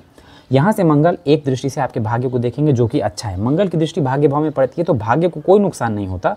बशर्ते आपको धार्मिक रहना होगा। ये पिता के स्वास्थ्य के लिए थोड़ा सा प्रॉब्लमेटिक होता है। मंगल और शनि दोनों की एक साथ कंबाइंड दृष्टि पड़ेगी आपके ट्वेल्थ हाउस में। अब यहाँ आपको ध्यान देना है। ट्वेल्थ हाउस में दो एक्सट्रीम पावरफुल ग्रहों की दृष्टि ये दिखाती है कि अगर आपसे जरा सी चूक हुई देन कहीं ना कहीं ये प्रॉब्लम आपको लंबा ले जाएगी। मीन्स आपसे कोई छोटी सी छोटा सा आपको कोई झगड़ा हो गया या छोटा सा आपको कोई प्रॉब्लम हो गई, जैसे अगर आपको हेल्थ में कोई प्रॉब्लम हुई, आपने अनदेखा किया, वो हेल्थ बड़ा इशू हो जाएगा। आपका, आपसे किसी का झगड़ा हुआ, वो झगड़ा आपने सही टाइम पर सॉर्ट आउट नहीं किया, वो झगड़ा और बढ़ जाएगा, आप कोर्ट तक खींचे जाएँगे। या ऑलरेडी अगर आपका कोई कोर्ट केस चल रहा है और आपकी कुंडली में मंगल और शनि बिगड़े हुए हैं देन उस कोर्ट केस में आपको अब और एफर्ट डालने पड़ेंगे। इसके अलावा मंगल की एक दृष्टि आपके लग्न में पड़ेगी, जो कि गुस्सा और जल्दबाजी, इन दोनों को बढ़ा देगा। हालाँकि छठे भाव में मंगल और शनि और शुक्र इनका होना ही ये दिखाता है कि भले ही आपका गुस्सा बढ़ जाए या कुछ भी हो, अगर आपसे इस टाइम पे कोई भिड़ता है, अगर आपके सामने कोई परिस्थिति आती है तो जीतना लास्ट में आपको ही है। लेकिन देखिए, हम ही जीतेंगे इस बात के बेस पे किसी से लड़ाई मूल ले लेना, ये कहाँ की बुद्धिमानी है? तो कोशिश आपको यही करनी है कि आप किसी से लड़ाई मूल ना लें। अब शनि की बात किया जाए तो शनि आपके एट्थ हाउस को देखेंगे, क्योंकि आपके लिए योग कारक प्लानट है तो शुरुआत में आपको स्ट्रगल देंगे, लेकिन लास्ट में आपको सक्सेस मिल जाएगी। शनि एक दृष्टि से आपके बारहवें को देखेंगे, ये आपको बचाने का काम करेंगे। जैसे आप, मैंने आपसे कहा, कोई लीगल लिटिगेशन कोर्ट कचहरी, पुलिस का कोई केस चल रहा है, ये आपको सिर्फ़ बचाने का काम करेंगे। धीरे धीरे आप देखेंगे कि आप अपने साइड आ रहे हैं, यानी आप बचाव पक्ष की तरफ़ बढ़ रहे हैं। और शनि आपके पराक्रम को भी देखेंगे, यहाँ पर वो पराक्रम बढ़ा देंगे आपका, और आपको लगातार मेहनत करने के लिए क्या देंगे? ग्रोथ देंगे। तो छठे भाव से मंगल, शनि और शुक्र का गोचर। भाग्य का भी गोचर जब छठे भाव से होता है तो कहते हैं इस टाइम पे कोई बड़ा गवर्नमेंट का एग्ज़ाम क्रैक होता है। या ऐसा इंसान किसी बड़े एग्ज़ाम में सेलेक्ट हो जाता है, उसको कोई बड़ी पोस्ट मिल जाती है, या बिज़नेस में उसको कोई अचानक से बड़ा लाभ होता है। कुल मिला के स्थितियाँ आपके लिए फेवर में हैं, लेकिन ये सारी स्थितियाँ आपको संघर्ष दिखाने के बाद ही आपके फेवर में आएँगी। पहली चीज़। दूसरी चीज़। मंगल और शनि जैसे ग्रह बारहवें को देख रहे हैं देन मेक श्योर कि आपकी अपनी जन्म कुंडली में ये दोनों ग्रह बिगड़े हुए ना हो तो ज़्यादा बेहतर है। उपाय के लिए क्या करें? हनुमान जी की आराधना, हनुमान जी के मंगल और शनिवार हनुमान जी को चोला चढ़ाएँ, डेली हनुमान जी के दर्शन करने जाएँ, हनुमान जी के आगे घी का दिया जलाएँ, या तिल के तेल का दिया जलाएँ, या आप सरसों के तेल का दिया जला सकते हैं, जो भी अवेलेबल हो। और इसके अलावा आप डेली किसी हनुमान मंदिर में दर्शन करने जाएँ, वहाँ पर जाके आप राम जी के कोई स्त्रोत या राम भगवान का नाम, या राम भगवान की कोई आरती, या कोई भी गीत, जो भी आपको आता हो, उनके सामने ज़रूर गाइए, गुनगुनाइए, उन्हें सुनाइए, जिससे आपको इस टाइम पे जो संघर्ष की थोड़ी स्थिति ज़्यादा बन रही है, वो संघर्ष की स्थिति कम हो और आपको प्रॉफिटेबल रिज़ल्ट ज़्यादा दें कन्या राशि के बाद अगर बात किया जाए, तुला राशि की, जिनकी भी जन्म कुंडली सात नंबर से शुरू होती है, या जिनकी भी जन्म कुंडली में चंद्रमा जहाँ पर बैठे हैं, सात नंबर लिखा है, उन्हें ये राशिफल देखना है। शनि, मंगल और शुक्र का जो ये कॉम्बिनेशन है, ये आपके फिफ्थ हाउस में हो रहा है। शनि आपके लिए योग कारक प्लानट होते हैं, क्योंकि खुद वो पंचमेश हैं और चौथे भाव के भी स्वामी होते हैं। मंगल की बात किया जाए तो मंगल आपके लिए सप्तमेश होते हैं सेवन्थ हाउस के लॉर्ड और द्वितीय, द्वितीयश होते हैं, यानी धन भाव के स्वामी। शुक्र की बात किया जाए तो शुक्र आपके एट्थ हाउस के लॉर्ड होते हैं, इसलिए वो आपके लिए और एट्थ हाउस के साथ साथ वो आपके लग्नेश भी होते हैं। क्योंकि शुक्र यहाँ पर खुद लग्नेश है, इसलिए उनको एट्थ हाउस का दोष नहीं लगेगा और शुक्र भी आपके लिए योग कारक प्लानट है। पंचम भाव से दो योग कारक प्लैनेट का गोचर, ये आपको आध्यात्मिक तौर पर बहुत सफलता दिलाने आ रहा है। आप, अगर आपके संतान हैं और उनकी तरफ़ से आपको कोई चिंता लंबे टाइम से चली आ रही थी, वो चिंता दूर हो जाएगी। ये कन्फर्म है कि चिंता दूर हो जाएगी। अब देखिए यहाँ पर, जैसा हम लोग बोलते हैं कि शनि की सातवें में दृष्टि है, ये हो जाएगा, वो हो जाएगा। जब शनि योग कारक होंगे ना, और शनि की दृष्टि जब आपके सेवन्थ में पड़ेगी तो ये समझ लीजिए कि अगर यही कोई दूसरा लग्न होता और शनि यहाँ पर हंड्रेड बुरा रिज़ल्ट देते तो वो रिज़ल्ट आपको सिर्फ़ फिफ्टी मिलेगा। कैच यहाँ पर यह है कि शनि की जो दृष्टि पड़ रही है, वो नीच दृष्टि है, जिसकी वजह से आपसे मैं ये बोल दूँ कि जो परेशानियाँ चली आ रही थी वैवाहिक जीवन में मैरिड लाइफ में, या जो परेशानियाँ चली आ रही थी आपके बिज़नेस में, वो खत्म हो जाएँगी तो ऐसा नहीं होगा। झूठ बोलने का कोई फ़ायदा नहीं है, क्योंकि ऐसा जब नहीं होगा देन आपको फिर ये लगेगा कि मैंने क्यों इसकी बात सुनी। सेवन्थ हाउस में शनि की दृष्टि आपको परेशानियों से प्रोटेक्ट कर देगी। लाइक अगर आपके लाइफ पार्टनर की हेल्थ में कोई इशू चला आ रहा था तो उसमें थोड़ा ब्रेक लग जाएगा, या आपको सही सोल्यूशन दिख जाएगा। बिज़नेस में अगर बहुत उठापटक चल रही थी तो थोड़ी सी स्टेबिलिटी आ जाएगी। यहाँ से फिर अब आपका आगे आपको कर्म लेकर जाएगा। शनि और मंगल शुक्र के फिफ्थ हाउस में दृष्टि आपके संतान पक्ष के लिए अच्छी है, लेकिन जैसा मैंने कहा, उन लेडीज़ के लिए बिल्कुल अच्छी नहीं है जो प्रेग्नेंट हैं, उन्हें अपनी हेल्थ का ख्याल रखना है और सभी को अपने हेल्थ का ख्याल रखना है खास तौर पे पेट से रिलेटेड प्रॉब्लम्स का ख्याल रखना है। गौर करिएगा, जितने भी तुला लगने के लोग हैं, जिनके पंचम में शनि चल रहे हैं ऑलरेडी वो लोग हेल्थ इशू सोसाइटी से इशू आसपास के लोगों का परेशान करना, ताने मिलना लोगों का ये एहसास कराना, जिससे लेना एक, ना देना दो, वो इंसान भी परेशान करने आ गया। स्थितियाँ बिल्कुल नॉर्मल दिखाई देती हैं, लेकिन उसमें भी व्यक्ति हमारे विरुद्ध हो जाता है, खिलाफ हो जाता है। यानी कुल मिला के तुला लग्न वालों से या तुला राशि वालों से इस टाइम पे आप पूछ लीजिए कि उनके बीता समय कितना ही अच्छा गुजर रहा था।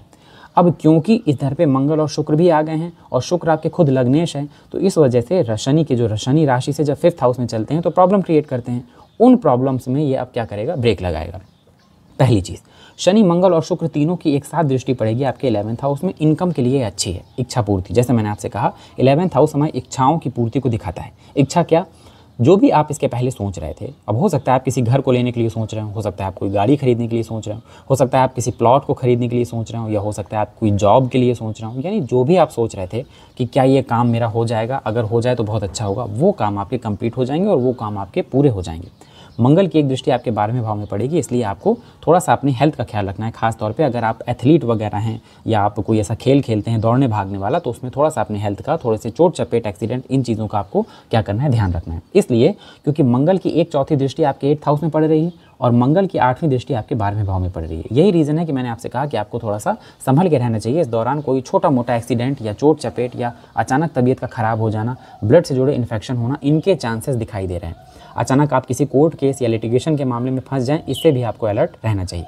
ऑल ओवर अगर तुला लग्न की बात किया जाए तो यहाँ पर एक अच्छी चीज़ ये है कि शनि, मंगल और शुक्र की जो कंबाइंड दृष्टि है, जो आपके इलेवंथ हाउस में पड़ रही है, ये आपकी इनकम के लिए अच्छी है। और जो ख़राब चीज़ें हैं, और माफ़ करिएगा, जो अच्छी चीज़ें हैं, वो ये कि इलेवंथ हाउस से आपकी इच्छा पूर्ति का भाव है तो ये इनकम को बढ़ा देंगे। और दूसरा ये कि शनि के फिफ्थ हाउस से गोचर के दौरान जो परेशानियाँ हो रही थी, उसमें थोड़ा सा ब्रेक लग जाएगा। ख़राब ये है कि आपको अपनी खुद की हेल्थ का ध्यान रखना है और आप इस टाइम पे बुरी तरह इमोशनल इम्बैलेंस्ड हैं। आपने देखा होगा कि आपको शारीरिक रूप से हो सकता है इस समय कोई परेशानी ना हो, लेकिन लोग मानसिक रूप से आपको परेशान करने में तुले हुए हैं। या आपके आसपास की परिस्थितियाँ आपको टेंशन एंजाइटी देने में तुली हुई हैं, उसके प्रति आपको सचेत रहना है। तो इस टाइम पे आपको भी उपाय की तरफ़ ध्यान देना है, आपको संकट मोचन के पाठ करने चाहिए। अगर आपने कभी ये पाठ नहीं सुना देन आप हनुमान चालीसा की कोई भी बुक खरीद लीजिएगा, उस बुक में मोस्ट प्रोबेबली संकट मोचन का पाठ भी उसके बाद होता है। वो पाठ कम से कम सात बार आपको डेली करना चाहिए। हनुमान जी के सामने घी का दिया जलाकर और हनुमान जी के मंदिर का दर्शन। चाहे आपके घर के आसपास कोई छोटा मंदिर क्यों ना हो, वहाँ पर डेली दर्शन करने के लिए जाइए और अगर कर सकें तो लेडी हैं तो भी और अगर पुरुष हैं तो भी मंगल और सैटरडे मतलब मंगल और शनिवार हनुमान जी को चोला ज़रूर चढ़ाइए, जिससे आपका दो चीज़ें कंट्रोल हो जाएँगी। एक तो ये गोचर, हालाँकि ये गोचर काफ़ी हद तक आपको प्रोटेक्ट कर रहा है, लेकिन फिर भी प्रॉब्लमेटिक तो है। और दूसरा ये कि आपको जो परेशानियाँ शनि के राशि से फिफ्थ हाउस में चलने की वजह से हो रही थी, वो परेशानियाँ आपकी दूर हो जाएँगी। तुला राशि के बाद अगर बात किया जाए, वृश्चिक राशि की, देखिए, अगर आपकी जन्म कुंडली आठ नंबर से शुरू हो रही है, या आपकी जन्म कुंडली में जहाँ पर भी चंद्रमा बैठे हैं, अगर उधर आठ नंबर लिखा है तो ये राशिफल आपको देखना है। शनि जो कि फोर्थ हाउस फोर्थ हाउस के ही लॉर्ड हैं, फोर्थ हाउस में गोचर कर रहे हैं और यहाँ पर वो उदय हुए हैं। इसके बाद अगर मंगल की बात किया जाए तो मंगल आपके छठे भाव के स्वामी होते हैं और लग्नेश होते हैं, और शुक्र की बात किया जाए तो शुक्र आपके सेवन्थ हाउस के लॉर्ड होते हैं और बारहवें भाव के स्वामी होते हैं। चौथे भाव में मंगल और शनि का गोचर करना नो डाउट ये प्रॉपर्टी के लिए तो बहुत अच्छा है। इस दौरान मोस्ट प्रोबेबली आप अपने लिए कोई ना कोई प्रॉपर्टी खरीदेंगे, चाहे भले ही आप छोटा सा कोई लैंड एरिया खरीदें, लेकिन अगर आप इस फ़ील्ड में प्रयासरत हैं तो आप अपने लिए कोई प्रॉपर्टी हंड्रेड खरीद सकते हैं, या फिर प्रॉपर्टी से जुड़ा आपको कोई फ़ायदा हो सकता है। अब देखिए शनि जो कि आपके फोर्थ हाउस के ही लॉर्ड हैं फोर्थ हाउस में गोचर करना ये एक राजयोग बना देता है, लेकिन ये राजयोग, वैसा राजयोग नहीं है कि आप सोचें कि इस राजयोग का प्रभाव उदय होते ही हमें मिलेगा। शनि का अस्त हो जाना आपके लिए बहुत अच्छा नहीं था। मेरे हिसाब से शनि का उदय हो जाना आपके लिए ज़्यादा अच्छा है, क्योंकि यहाँ पर अगर आपके और आपके मदर के बीच में कोई प्रॉब्लम थी, वो दूर हो जाएगी, या मदर की हेल्थ को कोई प्रॉब्लम थी तो वो रिकवरी की तरफ़ बढ़ जाएगी। शुक्र कभी फोर्थ हाउस में गोचर करना लग्जीरियस लाइफ स्टाइल को दिखाता है, यही यही वो भाव है जहाँ पर शुक्र जब गोचर करते हैं तो लोग अक्सर अपने घर को रेनोवेट करा लेते हैं, या फिर कोई नया घर खरीद लेते हैं, या फिर कोई नई गाड़ी खरीद लेते हैं। अब ये स्थितियों पर डिपेंड करता है। हो सकता है आपकी कुंडली में ये तीनों ग्रहों की स्थितियाँ कुछ इस प्रकार से हों कि हो सकता है आप अपने लिए बस महँगे कपड़े ही खरीद पाएँ, या महँगे जूते ही खरीद पाएँ। तो ये देखना होता है कि आपकी अपनी जन्म कुंडली में भी स्थितियाँ कैसी हैं। ऑल ओवर मंगल, शनि और शुक्र की जो ये चौथे भाव में स्थिति बन रही है, ये स्थिति प्रॉपर्टी के लिए अच्छी है कुछ हद तक आपके भौतिक सुखों के लिए अच्छी है मटेरियलिस्टिक चीज़ों के लिए अच्छी है। लाइक आज हमारे घर में नया टीवी आ गया तो हम बड़े खुश हो गए। लेकिन घर का माहौल कलह वाला है। लाइक आपके घर में जो है वो नेगेटिव वातावरण बना रहता है। आपकी कोई बात नहीं सुनता या घर वालों की बातों से आप परेशान हो जाते हैं। ये चीज़ बढ़ने वाली है और ख़ास तौर पे आपको अपनी मदर की हेल्थ का ख्याल भी रखना होगा। क्योंकि ये तीनों ही ग्रह एक जगह पर दृष्टि डालेंगे और वो होगा आपका टेंथ हाउस वर्क प्लेस में ये बहुत अच्छे रिज़ल्ट देने वाला होगा। जिन लोगों के पास जॉब नहीं थी, उन्हें जॉब मिल जाएगी। जो लोग जॉब की तैयारी कर रहे थे, उनके लिए अच्छा है। जो लोग गवर्नमेंट सेक्टर में जॉब की तैयारी कर रहे थे, उनके लिए भी अच्छा है। नौकरी में प्रमोशन के लिए आप थोड़ा कम उम्मीद लगा के बैठिए। हाँ अगर ट्रांसफ़र चाह रहे हैं तो ट्रांसफ़र हो सकता है, क्योंकि मंगल की एक दृष्टि आपके इलेवंथ हाउस में पड़ रही है और शनि की वापस से दृष्टि आपके लग्न में पड़ रही है। क्योंकि वृश्चिक लग्न है और शनि यहाँ पर योग कारक नहीं है, इसलिए उदय होने के बाद जब वो लग्न में अपनी दृष्टि डालेंगे तो आपके डिले हुए कामों को पूरा कर देंगे, रुके हुए कामों को पूरा कर देंगे, या वो काम जो बहुत स्लो प्रोसेस से चल रहे थे कि आपको बार बार उन्हें पुश करना पड़ा था लेकिन काम हो ही नहीं रहा था तो वो काम आपके बनने लगेंगे, वो काम आपके होने लगेंगे। शनि की एक दृष्टि आपके छठे भाव में पड़ेगी, हालाँकि नीच दृष्टि है, लेकिन फिर भी ये दिखाती है कि आपकी लाइफ में जो भी आपके शत्रु वगैरह हैं, वो सारे दूर हो जाएँगे और आपका कर्ज जो है, उसमें भी काफ़ी हद तक आराम मिल जाएगा आपको, कोई बीमारी है तो उससे भी आप रिकवरी की तरफ़ बढ़ने लगेंगे। और शनि की एक दृष्टि जो लग्न में पड़ रही है, ये कामों को अब भी डिले करेगी, लेकिन हाँ जो काम ऑलरेडी डिले चल रहे थे, उन्हें कहीं ना कहीं ये पूरा कर दिया जाएगा। वृश्चिक लग्न और वृश्चिक राशि के लिए सबसे अच्छा उपाय, क्योंकि वृश्चिक लग्न ही मंगल का लग्न है और मंगल के लग्न का मतलब ये हनुमान जी।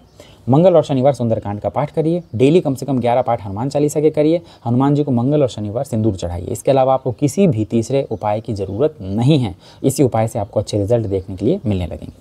वृश्चिक राशि के बाद अगर बात किया जाए, धनु राशि की, जिनकी भी जन्म कुंडली नौ नंबर से शुरू होती है, या जिनकी भी जन्म कुंडली में चंद्रमा जहाँ पर भी बैठे हैं, वहाँ नौ नंबर लिखा है तो ये राशिफल उनके लिए है। मंगल, शनि और शुक्र का जो गोचर है, ये आपके थर्ड हाउस से होने जा रहा है, जो कि मेरे हिसाब से बहुत अच्छा है। और यहाँ पर शनि आपके दूसरे भाव के स्वामी होकर तीसरे भाव में खुद की राशि में गोचर कर रहे हैं। मंगल की बात किया जाए तो मंगल आपके फिफ्थ हाउस के लॉर्ड होते हैं और आपके ट्वेल्थ हाउस के लॉर्ड होते हैं। शुक्र की बात किया जाए तो शुक्र आपके सिक्स हाउस के लॉर्ड होते हैं और आपके इलेवंथ हाउस के लॉर्ड होते हैं।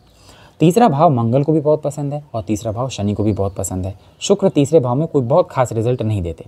मंगल और शनि का तीसरे भाव में गोचर करने का मतलब ये है कि ये आपके एफिशिएंसी को बढ़ा देंगे। आप देखते होंगे कि पहले कोई काम है और उस काम के लिए आप मेहनत भी कर रहे हैं या बहुत पहले से मेहनत कर रहे हैं और आपको रिज़ल्ट नहीं मिल रहा तो आप दूसरों से यही बोलेंगे कि भाई, मेहनत तो मैंने भी की, मैं देख रहा हूँ कि जिन्होंने मेहनत नहीं की, उन्हें मिल गया रिज़ल्ट, लेकिन मुझे नहीं मिला। शनि के उदय हो जाने से वही चीज़ जो आप डिज़र्व करते हैं और आपको नहीं मिल पा रही, वो मिल जाएगी। एफिशिएंसी को नो डाउट ये बढ़ा देगी और ऐसा कहते हैं कि तीसरे भाव से मंगल और शनि का गोचर हो तो ऐसा इंसान इस दौरान अपने पराक्रम के बल पे कोई ऐसा काम कर गुजरता है जिस काम की वाहवाही उसे जीवन भर मिलती है। कि अरे वाह, उस इंसान ने तो इस टाइम ये काम कर दिया। असंभव देखने वाले काम को भी इस टाइम आप पूरा कर सकते हैं, ये बात याद रखिएगा। शनि की एक दृष्टि आपके फिफ्थ हाउस में पड़ेगी क्योंकि नीच दृष्टि है और आपके लग्न के लिए कारक नहीं है तो रिलेशनशिप और आपकी हेल्थ इसके लिए अच्छा नहीं है। शनि की एक दृष्टि आपके नाइन्थ हाउस में पड़ेगी, भाग्य के लिए शनि हमेशा अच्छे होते हैं। पिता से, पिता की हेल्थ को उतना दिक्कत नहीं होगी, लेकिन पिता से आपके संबंध अच्छे होने चाहिए। हालाँकि आपको पिता की हेल्थ का ख्याल भी रखना चाहिए, क्योंकि मंगल भी आपके नाइन्थ हाउस को देख रहे हैं। शनि की एक दृष्टि आपके ट्वेल्थ हाउस में पड़ेगी तो ये दृष्टि जो है थोड़ा सा परेशान करने वाली होगी। आपके पैसे खर्च कराने वाली होगी, पैसे सेविंग ना हो, और कई बार पैसे फंस जाएँ। आप किसी को पैसे दें और पैसा डूब जाए, इसके भी चांस थोड़े से बनकर आते हैं। मंगल की एक दृष्टि आपके सिक्स हाउस में पड़ेगी आपको परेशानियों से बचाने वाली तो होगी। शत्रुहंत्र बना देगी आपको, आप अपने दुश्मनों के ऊपर हावी हो जाएँगे, कर्ज चुकता कर देंगे, बीमारियों से दूर हो जाएँगे। लेकिन मंगल की दृष्टि जब सिक्स हाउस में पड़ेगी देन आपको पैसा अपना किसी को भी नहीं देना। अगर आपने अपना पैसा किसी को उधार दिया या इसके एवरेज में कोई भी चीज़ आपने किसी दूसरे को यूज़ करने के लिए भी दी मोस्ट प्रोबेबली वो चीज़ आपकी फंस जाएगी। खास तौर पे दिया हुआ पैसा डूबने या फंसने के पूरे पूरे चांसेस हैं। मंगल की एक दृष्टि आपके नाइन्थ हाउस में पड़ेगी, जो भाग्य के लिए अच्छी है। हालाँकि फादर की हेल्थ का आपको ख्याल रखना है और टेंथ हाउस में मंगल की दृष्टि एक्सट्रीम पावर को दिखाती है, यानी आपके वर्क प्लेस में ग्रोथ को दिखाती है। क्योंकि मंगल आपके ट्वेल्थ हाउस के और फिफ्थ हाउस के लॉर्ड हैं तो पंचम भाव को स्वामी टेंथ हाउस से गोचर करेगा। इस दौरान आप अपनी बुद्धि से, अपनी इंटेलिजेंस से, अपने फैसलों से कोई ना कोई ऐसा पोस्ट ज़रूर मिलेगी या कोई ना कोई ऐसा काम ज़रूर करेंगे जिससे समाज में सोसाइटी में, आपके नाम में, सम्मान में वृद्धि होगी। लोग आपको जानेंगे, आपको रिस्पेक्ट करेंगे या आपका जो और है वो और ज़्यादा स्ट्रांग होगा।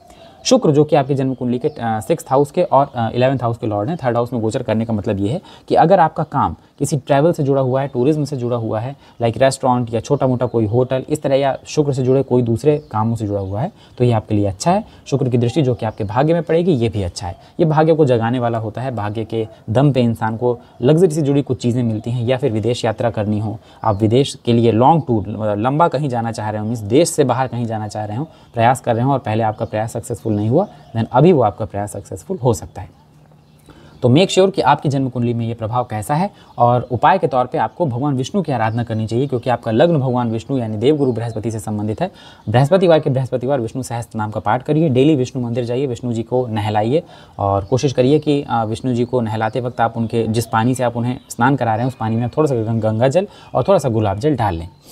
विष्णु जी के बीज मंत्र का या विष्णु जी के वैदिक मंत्र का या गायत्री मंत्र का जो भी हो, उसका जाप करें और विष्णु साहित्य नाम का पाठ हर बृहस्पतिवार करें। अगर कोशिश करें हफ़्ते में तीन बार कर पाएँ तो और अच्छा। इसके साथ कम से कम तीन पाठ हनुमान चालीसा के डेली करना शुरू कर दीजिए, हनुमान दर्शन करना शुरू कर दीजिए। आपके लिए गोचर और ज़्यादा एफिशियंट हो जाएगा। धनु राशि के बाद अगर बात किया जाए, मकर राशि की, देखिए जिनकी भी जन्म कुंडली दस नंबर से शुरू होती है, उनको ये राशिफल देखना है। अगर आपकी जन्म कुंडली में जहाँ पर भी चंद्रमा बैठे हैं, वहाँ पर दस नंबर लिखा है तो भी ये राशिफल आपको देखना है। आपके लिए गोचर आपके सेकेंड हाउस से होने जा रहा है। शनि, जो कि आपके सेकेंड हाउस के लॉर्ड हैं, क्योंकि वो आपके लग्नेश भी हैं। मंगल आपके फोर्थ हाउस के लॉर्ड हैं और इसके साथ इलेवंथ हाउस के लॉर्ड हैं। शुक्र की बात किया जाए तो आपके फिफ्थ हाउस के लॉर्ड हैं और इसके साथ आपके टेंथ हाउस के लॉर्ड हैं। बहुत अच्छा कॉम्बिनेशन है। धन के लिए बहुत अच्छा है। जो लोग लंबे टाइम से फाइनेंशियली क्राइसिस से जूझ रहे थे, जिनको धन की बहुत समस्या थी, उनके लिए बहुत अच्छा है। इसलिए क्योंकि मंगल लाभ भाव के स्वामी होकर धन भाव में गोचर कर रहे हैं, महाधनी योग, मंगल फोर्थ हाउस के लॉर्ड होकर सेकेंड हाउस में गोचर कर रहे हैं, जहाँ से प्रॉपर्टी का विचार किया जाता है। ये भी एक तरह का महाधनी योग। शुक्र जो कि फिफ्थ हाउस के लॉर्ड हैं और टेंथ हाउस के लॉर्ड हैं सेकेंड हाउस से गोचर कर रहे हैं, यानी आपका सारी चीज़ें, चाहे वो आपके पद हो, आपकी नौकरी हो, प्रतिष्ठा हो, कोई भी चीज़ हो, सारी चीज़ें कहाँ जाकर जुड़ रही हैं? धन से जुड़ रही हैं। सारी चीज़ें कहाँ से जाकर जुड़ रही हैं? आपके परिवार से जाकर जुड़ रही हैं। हो सकता है इस दौरान आप लोग कोई नया प्रॉपर्टी खरीदें, क्योंकि प्रॉपर्टी फोर्थ हाउस और सेकेंड हाउस दोनों से देखी जाती है। छोटी मोटी कोई प्रॉपर्टी आप खरीद सकते हैं या प्रॉपर्टी को रेनोवेट करा सकते हैं, अपने घर को रेनोवेट करा सकते हैं, अपने बिज़नेस को एक्सपेंड कर सकते हैं, या हो सकता है अब आपको किसी नौकरी, जो आप जॉब कर रहे हैं, उस जॉब से भी बेहतर आपको कोई ऑफ़र मिल जाए जिसकी तरफ़ जाने के लिए आप सोच सकते हैं। शनि की बात की जाए तो शनि यहाँ से तीसरी दृष्टि आपके चौथे भाव में डालेंगे, जो कि प्रॉपर्टी के लिए ठीक है, लेकिन मदर की हेल्थ के लिए अच्छा नहीं है। प्रॉपर्टी में इशूज़ हो सकते हैं। अगर कोई नई प्रॉपर्टी खरीद रहे हैं तो मेक श्योर उसका डॉक्यूमेंटेशन वगैरह चेक कर लीजिएगा, नहीं बाद में आपको प्रॉब्लम होगी। शनि की एक दृष्टि आपके एट्थ हाउस में पड़ेगी, जहाँ पर मंगल और शुक्र दोनों देखेंगे, और ये दृष्टि कोई बहुत अच्छी दृष्टि नहीं है। केवल ये दृष्टि उन लोगों के लिए ज़्यादा अच्छी है, जो लोग ऑकल्ट या फिर ज्योतिष या तंत्र वगैरह सीखना चाह रहे हैं, उनके लिए अच्छी है। और शनि की एक दृष्टि आपके इलेवंथ हाउस में पड़ेगी और इलेवंथ हाउस का लॉर्ड ही शनि के साथ गोचर कर रहे हैं तो ये इनकम के लिए, इच्छा पूर्ति के लिए, आमदनी के लिए अच्छा है।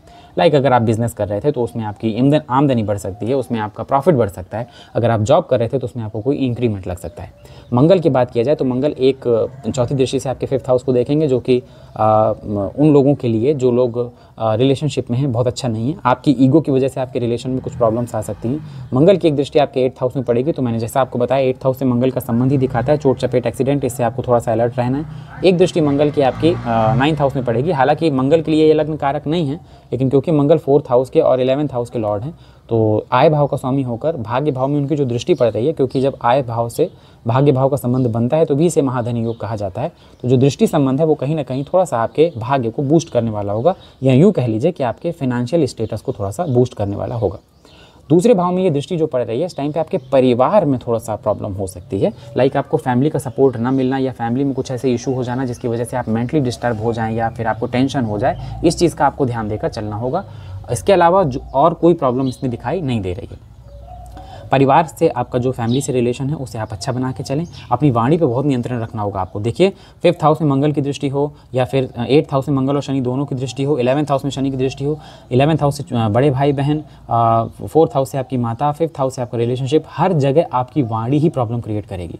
आप अपनी वाणी से, अपनी बोली से कुछ ऐसा बोल देंगे जिससे सामने वाले को बुरा लग जाए और फिर इसकी वजह से वो आपको क्या करें? आपको, आपका और उनका रिलेशन खराब हो। तो इस चीज़ का आपको ध्यान रखना है।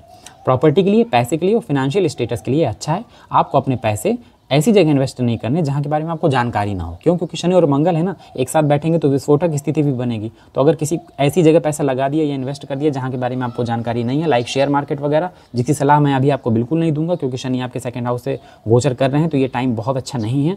तो अगर ऐसा कोई फ़ील्ड नहीं है या है भी तो उसमें बहुत सोचने, समझने के बाद ही आपको क्या करना चाहिए? इन्वेस्ट करना चाहिए। उपाय के तौर पे मैं आपसे यही कहूँगा कि हनुमान चालीसा के पाठ करिए। कम से कम 11 पाठ डेली हनुमान चालीसा के पढ़ें। मंगल और शनिवार हनुमान जी को चोला चढ़ाने जाएँ और डेली कम से कम किसी भी हनुमान मंदिर जाकर हनुमान जी के दर्शन करें। आपको काफ़ी प्रॉफिट या काफ़ी लाभ देखने के लिए मिलेगा। मकर राशि के बाद कुंभ राशि की अगर बात किया जाए, देखिए जिनकी भी जन्म कुंडली ग्यारह नंबर से शुरू होती है, उनको ये राशिफल देखना है। शनि आपके लग्न के स्वामी होकर ही लग्न में गोचर कर रहे हैं। शश नामक महापुरुष राजयोग लगा के और शनि आपके ट्वेल्थ हाउस के लॉर्ड भी होते हैं। मंगल की बात किया जाए तो मंगल आपके टेंथ हाउस के लॉर्ड होते हैं, इसके साथ साथ थर्ड हाउस के लॉर्ड होते हैं। शुक्र की बात किया जाए तो शुक्र आपके फोर्थ हाउस के लॉर्ड होते हैं और आपके भाग्य भाव के स्वामी होते हैं। भाग्य भाव के स्वामी का लग्न में गोचर करना बहुत अच्छा फोर्थ हाउस के लॉर्ड का लग्न में गोचर करना बहुत अच्छा। आपकी जन्म कुंडली में अगर शुक्र अच्छी स्थिति में है देन ये आपके लिए भाग्य को बढ़ाने वाला गोचर है। इस दौरान आपके जो भी काम जिनका आप सपना देख रहे थे, वो पूरे हो जाएँगे। ये तय है। अगर कोई चीज़ लेना चाह रहे थे, नहीं ले पा रहे थे तो वो भी। कोई डील फाइनल नहीं हो पा रही थी, वो डील फाइनल हो जाएगी।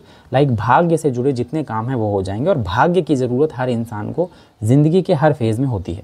कोई इंटरव्यू देने गए सिलेक्शन होगा कि नहीं होगा? कोई एग्ज़ाम रिटर्न दे, देकर आए हैं, पता नहीं सिलेक्शन होगा कि नहीं होगा, वो सारी चीज़ों के लिए बहुत अच्छा है। अब क्योंकि शनि लग्न में ही गोचर कर रहे हैं और लग्न में ही मंगल आ गए दोनों का नेचर बिल्कुल डिफरेंट है। शनि, जहाँ अभी तक आपको ये चीज़ें सिखा रहे थे कि कैसे धीमे धीमे चलना है या आपकी लाइफ के मेजर चेंजेस कैसे हैंडल करने हैं, मंगल के आ जाने की वजह से मंगल अब आपको साढ़े साथी के प्रभाव से थोड़ा बचाने की कोशिश करेंगे और शनि का उदय हो जाना भी शनि को एक्टिव कर देगा। कुल मिला के मंगल और शनि का जो गोचर लग्न से हो रहा है, आपको भी एक चीज़ का ध्यान देना है कि कोई भी चीज़ ना तो आपको बहुत जल्दी मिलेगी और न किसी चीज़ के लिए आपको बहुत ज़्यादा वेट करना पड़ेगा। आपको अपने नेचर में बैलेंस करके चलना होगा। मंगल कहेंगे जल्दी करो, शनि कहेंगे थोड़ा सा वेट करो। इस दौरान आपके पर्सनैलिटी में एक अलग एनर्जी आपको महसूस होगी। ये एनर्जी आपने पहले कभी महसूस नहीं की होगी। लाइफ के कुछ बड़े डिसीज़न आपकी लाइफ में आने वाले हैं। लाइफ के कुछ बड़े चेंजेस आपकी लाइफ में आने वाले हैं। और ये सारी चीज़ें आपके लिए हुए डिसीज़न से ही होगा। तो इसलिए खुलकर सामने आकर डिसीज़न लीजिए। किसी के पीठ पीछे या किसी की सलाह के भरोसे मत बैठिए कि वो इंसान हमें बताएगा, तब हम ये जाकर करेंगे। खुद अपने फैसले लीजिए और आप देखेंगे कि आपके लिए हुए, खुद के फैसले आपको ज़्यादा प्रॉफिट दे रहे हैं। शुक्र के लिए कहना ही नहीं, शुक्र की केवल एक ही दृष्टि है तो सेवन्थ हाउस में देखेंगे उन लोगों के लिए जिनकी मैरिड लाइफ जिनकी शादी नहीं हुई, उनकी शादी के लिए अच्छा है, या जिनकी मैरिड लाइफ में प्रॉब्लम आ रही थी प्रॉब्लम खत्म हो जाएगी। क्योंकि कुंभ लग्न या कुंभ राशि वाले लोग शनि की साढ़े साथी भी देख रहे थे तो इसी वजह से इस दौरान साढ़े साथी के दौरान जो मानसिक टेंशन परेशानी या स्थितियाँ बिगड़ रही थी, वो स्थितियाँ कहीं ना कहीं जाकर थोड़ी ठीक हो जाएँगी। अब चलिए एक एक ग्रह के बारे में बात कर लेते हैं। मंगल, शनि की बात करें तो शनि पहली तीसरी दृष्टि से आपके तीसरे भाव को देखेंगे, जहाँ के स्वामी मंगल आपके लग्न में गोचर कर रहे हैं, पराक्रम को बढ़ाने वाले होंगे, लेकिन छोटे भाई बहनों से संबंध अच्छे रखने हैं। शनि की एक दृष्टि आपके सेवन्थ हाउस में पड़ेगी, अगर अभी तक आपके और आपके लाइफ पार्टनर के बीच में कोई मतभेद था, या फिर आपके रिश्ते में कुछ प्रॉब्लम आ रही थी, या उनकी हेल्थ में कुछ इशू था, वो दूर हो जाएगा। प्रॉब्लम जो आ रही थी, या जो इशू हो रहा था, वो भी दूर हो जाएगा, यानी रिश्ते जो हैं, वो पहले से थोड़ा बेहतर हो जाएँगे। शनि की एक दृष्टि आपके टेंथ हाउस में पड़ेगी, और टेंथ हाउस में शनि की दृष्टि का मतलब ये है कि आपके कार्य क्षेत्र में आपको प्रॉफिट ही होगा। ये सारा प्रॉफिट संघर्ष के पीछे छिपा हुआ होगा। कभी कभी हमें प्रॉब्लम होती है हमें परेशानी होती है हम सोचते हैं हमारे साथ ऐसा क्यों हो रहा है? लेकिन बाद में हमें पता चलता है कि हमारे साथ इसलिए हो रहा था ताकि हमको और अच्छा इसका रिज़ल्ट देखने के लिए मिले। सेम एज़ आपको इसके और अच्छे रिज़ल्ट देखने के लिए मिलेंगे। अगर आ, मंगल की बात की जाए तो मंगल चौथी दृष्टि से देखेंगे फोर्थ हाउस को जो कि प्रॉपर्टी के लिए अच्छा है मदर की हेल्थ के लिए अच्छा नहीं है इसलिए मदर की हेल्थ का आपको ख्याल रखना होगा। शनि और मंगल दोनों आपके सेवन्थ हाउस को देखेंगे, इसलिए मैं अभी भी आपको कहूँगा कि भले ही शनि का उदय हो गया है, लेकिन फिर भी आप अपने लाइफ पार्टनर के प्रति लॉयल रहें लाइफ पार्टनर की हेल्थ का ख्याल रखें और कोशिश करें कि कम से कम आप ही लड़ाई या झगड़ा, अगर ऐसा कुछ माहौल होता है तो आप ही चुप हो जाएँ, ताकि वो लड़ाई और झगड़ा और ना बढ़ने पाए। इस दौरान काफ़ी हद तक मैंने देखा कि कुंभ लग्न और कुंभ राशि के लोगों को बिज़नेस और मैरिड लाइफ दोनों में प्रॉब्लम देखने के लिए मिल रही है। वो प्रॉब्लम कहीं ना कहीं अब थोड़ा सा कम हो जाएगी और उसमें बेहतर रिज़ल्ट आपको देखने के लिए मिलेंगे। इसका एक बहुत बड़ा श्रेय जाता है शुक्र को, ना कि शनि के उदय होने को। शुक्र का लग्न से गोचर आपको बहुत सारे अच्छे रिज़ल्ट लेकर आ रहा है। मंगल की एक दृष्टि आपके एट हाउस में पड़ रही थी, इसीलिए मेजर अचानक आने वाले चेंजेस के प्रति थोड़ा सावधान रहना है। लाइक आप गाड़ी चलाते हैं, थोड़ा सोच समझ के थोड़ा सा धीमे से गाड़ी चलाएँ, ज़्यादा स्पीड से गाड़ी ना चलाएँ रास्ते में निकलते वक्त अलर्ट रहें और कोशिश करें कि किसी से कोई छोटा मोटा भी लड़ाई झगड़ा हो तो वो लड़ाई झगड़ा बढ़ने ना पाए, आप उसे पहले पीछे हो जाएँ। जब आपको गुस्सा है तो उस दौरान शांत हो जाइए। इस दौरान जबकि शुक्र आपके लग्न से गोचर कर रहे हैं, अगर बहुत ज़्यादा खुशी आपको हो या किसी बात में बहुत ज़्यादा खुश हो तो कोई कमिटमेंट मत करिए। गुस्सा हो तो किसी को कोई धमकी मत दीजिए या कोई चीज़ मत बोलिए कि मैं यूँ ऐसा ही करूँगा। ये सारी चीज़ें आपको ध्यान रखनी है। आपको साढ़े साथी से भी बचना है। लग्न में चल रहे मंगल की एनर्जी को भी ऑब्जॉर्व करना है, उसका यूज़ करना है और शुक्र तो आपके लिए प्रॉफिटेबल हैं भी। तो कुंभ लग्न और कुंभ राशि के लिए सबसे बढ़िया उपाय है हनुमान चालीसा। डेली कम से कम 11 पाठ हनुमान चालीसा के। इसके साथ मंगल और शनिवार हनुमान जी को चोला चढ़ाना है। हनुमान जी के गायत्री मंत्र का भी जप आप कर सकते हैं और डेली किसी भी हनुमान मंदिर जाके हनुमान जी के दर्शन करें और उनके पैरों के पास का सिंदूर अपने माथे में तिलक जैसा लगाएँ। आप देखेंगे कि कुछ परेशानियाँ क्योंकि साढ़े साथी चल रही है, ऐसा हो ही नहीं सकता कि आपको टेंशन एंजाइटी डिप्रेशन ना हो। तो जो टेंशन आपको चल रही है, इस टेंशन में थोड़ा कमी आएगी और रास्ते आपको खुलते हुए नज़र आएँगे। चलिए अब बात कर लेते हैं लास्ट राशि के बारे में, ये है मीन राशि। जिनकी भी जन्म कुंडली बारह नंबर से शुरू होती है, उनको ये राशिफल देखना है। या आपकी जन्म कुंडली में जहाँ पर भी चंद्रमा बैठे हैं, अगर उधर बारह नंबर लिखा है तो आपको ये राशिफल देखना है। आपके लिए ये गोचर आपकी राशि से ट्वेल्थ हाउस में होने जा रहा है। शनि की बात की जाए तो शनि आपके टेंथ हाउस इलेवंथ हाउस के लॉर्ड होकर ट्वेल्थ हाउस में अपनी ही राशि में गोचर कर रहे हैं। मंगल की बात की जाए तो मंगल आपके धन भाव के स्वामी होते हैं, यानी सेकेंड हाउस के लॉर्ड होते हैं और नाइन्थ हाउस के लॉर्ड होते हैं। और शुक्र की बात किया जाए तो शुक्र आपके थर्ड हाउस के लॉर्ड होते हैं और आपके एट्थ हाउस के लॉर्ड होते हैं। देखिए, योग कारक प्लानट की बात किया जाए तो मंगल आपके लिए सबसे ज़्यादा योग कारक प्लानट होते हैं, क्योंकि वो आपके भाग्य भाव के स्वामी हैं और भाग्य भाव का स्वामी होकर जब भी भाग्येश ट्वेल्थ हाउस में गोचर करते हैं तो ये टाइम इंसान के लिए थोड़ा सा प्रॉब्लम को कम करने वाला होता है। मतलब जैसे कोई काम या किसी परेशानी से आप बिल्कुल ऊब चुके हैं, बिल्कुल आप टेंशन में हैं, या आप सोच रहे हैं कहीं चला जाऊँ, थोड़े दिनों के लिए बाहर चला जाऊँ थोड़ा सा घूम लूँ या मूड फ्रेश कर लूँ, उस चीज़ के लिए ये बहुत अच्छा है। वो लोग जो विदेश जाना चाह रहे थे या विदेश से जुड़ा कोई काम करना चाह रहे थे फॉरेन ट्रिप करना चाह रहे थे, वो बहुत दिनों से चाह रहे थे घर में बोर हो रहे हैं, कहीं बाहर जाके थोड़ा सा घूम आए, ये टाइम बहुत अच्छा है। या विदेश जाना चाह रहे थे, तब तो उसके लिए बहुत अच्छा है, आपको विदेश जाने के पूरे पूरे चांसेस देखने के लिए मिलेंगे। शुक्र की बात किया जाए तो देखिए, शुक्र आपके थर्ड हाउस के और एट्थ हाउस के लॉर्ड होते हैं, बारहवें भाव में है तो एक तरह का विपरीत राजयोग, लेकिन ये विपरीत राजयोग ऐसा नहीं है कि आपको ये प्रॉफिट दे। ये विपरीत राजयोग उन लोगों के लिए ज़्यादा प्रॉफिटेबल है, जो लोग एक्सट्रीम मेहनत कर रहे थे पहले से। लाइक उनको कोई कोई प्रॉब्लम का कोई अंत नहीं दिखाई दे रहा था। बस प्रॉब्लम्स हैं कि चली आ रही हैं। एक के बाद एक चीज़ें उनकी लाइफ में लगी हुई हैं। उनके लिए ये बहुत अच्छा है, क्योंकि उनको अब अपनी मुसीबतों से बचने का रास्ता दिखाई दे जाएगा।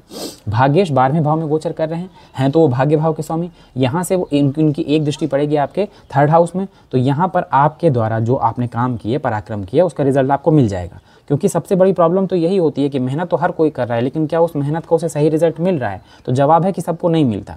लेकिन क्योंकि भाग्येश बारहवीं से बैठ के आपके थर्ड हाउस को देखेंगे तो ये आपकी मेहनत का रिज़ल्ट आपको दिला देंगे। ये सारी चीज़ें तभी ज़्यादा होंगी जब आप अपने जन्म स्थान से थोड़ा दूर हों। अगर आप अपने जन्म स्थान में ही हैं तो इस चीज़ में थोड़ा सा कमी देखने के लिए मिल सकती है। इसके अलावा मंगल और शनि, दोनों की कंबाइंड दृष्टि आपके सिक्स हाउस में पड़ेगी। मैं इसे बहुत अच्छा मानता हूँ, क्योंकि ये प्रॉब्लम से बचाने वाला होगा आपको। हालाँकि यही योग आपको प्रॉब्लम में डालेगा भी, लेकिन लास्ट में प्रॉब्लम से बाहर निकाल लेगा। और मंगल की एक दृष्टि आपके सेवन्थ हाउस में पड़ेगी तो जो आपके लाइफ पार्टनर या आपके मैरिड लाइफ के लिए बहुत अच्छा नहीं है। उनकी हेल्थ के लिए अच्छा नहीं है, लेकिन बिज़नेस के लिए बहुत अच्छा है। फॉरेन ट्रिप के लिए बहुत अच्छा है, किसी प्रॉपर्टी को खरीदने के लिए बहुत अच्छा है इनिशिएशन इनिशिएटिव बिज़नेस के लिए बहुत अच्छा है बिज़नेस में ग्रोथ के लिए अच्छा है, लेकिन लाइफ पार्टनर की हेल्थ के लिए अच्छा नहीं है। तो आपको सिर्फ़ अपनी लाइफ पार्टनर के हेल्थ का ख्याल रखना है और कोशिश करना है कि आपके और उनके बीच में ईगो ना आने पाए। शनि की बात करें तो शनि आपके लिए योग कारक प्लानट नहीं होते क्योंकि वो आपके इलेवंथ और ट्वेल्थ हाउस के लॉर्ड होते हैं और इसके अलावा शनि यहाँ से तीसरी दृष्टि, नीचे दृष्टि धन भाव में डालेंगे जो आपकी वाणी में थोड़ा सा कड़वाहट ले आएँगे। अब हो सकता है कि वर्कलोड की वजह से या वर्क प्रेशर की वजह से कई बार आपसे किसी ने कुछ बोला और आपने भी तैश में या गुस्से में आकर उससे कुछ बोल दिया, इससे आपको बचना है, पहला। शनि दूसरी दृष्टि आपके सिक्स हाउस में पड़ेगी। सिक्स हाउस में शनि की दृष्टि हमेशा ही प्रॉब्लम से बचाने वाली होती है। यानी कोई भी प्रॉब्लम कितनी ही बड़ी क्यों ना हो, वो हो सकता है कि आपकी लाइफ में आ जाए, लेकिन लास्ट में जीत आपकी ही होगी। और शनि की एक दृष्टि आपके भाग्य में पड़ेगी, लेकिन क्योंकि वो आपके लिए योग कारक नहीं है तो इस वजह से आपको शनि की उनकी जो भाग्य में दृष्टि है, इससे बहुत अच्छे उम्मीद लगा के मत चलिएगा। बारहवें में खुद की राशि में गोचर कर रहे शनि नाइन्थ हाउस में देखकर भाग्य को कमज़ोर करने का काम करते हैं और संघर्ष को बढ़ा देते हैं। वैसे भी जो मीन राशि है इनकी इनिशिएटिव वाली साढ़े साथी चल रही है। तो आपके लिए सबसे बड़ा चैलेंज है साढ़े साथी से खुद को बचाना। और मैंने आपसे कई बार कहा था कि जब भी साढ़े साथी चलती है तो सेम यही पैटर्न होता है कि शनि आपके बारहवें में गोचर करते हैं और बारहवें में गोचर करके वो आपके धन को आपके शत्रुओं को और आपके भाग्य को टारगेट करते हैं। पहले वो आपका पैसा खर्च करा देते हैं ताकि आपके पास जब पैसा ही नहीं रहेगा तो आप, वैसी उलझन में आ जाएँगे परेशानी में आ जाएँगे आपकी सेविंग खत्म करा देते हैं। छठे भाव में दृष्टि डाल के आपके पुराने पुराने दुश्मनों को पता नहीं कहाँ से एक्टिव कर देते हैं। आपको ऐसा लगने लगता है कि हर कोई इंसान आपके पीछे पड़ा हुआ है या हर इंसान जो है आपसे कहीं ना कहीं बदला निकालने की कोशिश कर रहा है भाग्य भाव में दृष्टि डाल के आपके भाग्य के सपोर्ट को खींच लेते हैं। अब कोई भी इंसान हो, जब भी वो कोई काम करता है तो वो सोचता है हमारा भाग्य तो कम से कम हमारा सहयोग दे, लेकिन कहीं ना कहीं उसका भाग्य भी उसका सपोर्ट नहीं करता इसी वजह से। तो साढ़े साथी के फ़र्स्ट चरण से बचना ही आपका सबसे बड़ा क्या है? चैलेंज है। शुक्र की बात किया जाए तो देखिए, शुक्र आपके थर्ड हाउस के और एट्थ हाउस के लॉर्ड हैं। बारहवें में गोचर कर रहे हैं, है विपरीत राजयोग। तो बारहवें में शुक्र का गोचर कई मामलों में भाग्योदयकारी माना गया है लग्जरी को पूरा करने वाला माना गया है। लेकिन क्योंकि ये मंगल के साथ हैं, इस वजह से आपको अपने नेचर में बहुत ज़्यादा बदलाव करने पड़ेंगे और आई एम श्योर कि आप समझ रहे होंगे मेरा इशारा किस तरफ़ है।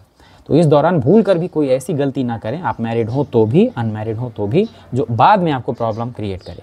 या आपने अपने से जानबूझकर आपने कोई ऐसा फैसला लिया जिसकी वजह से बाद में आपको रिग्रेट करना पड़ रहा है या प्रॉब्लम में फंस रहे हैं तो उससे आपको बचना चाहिए।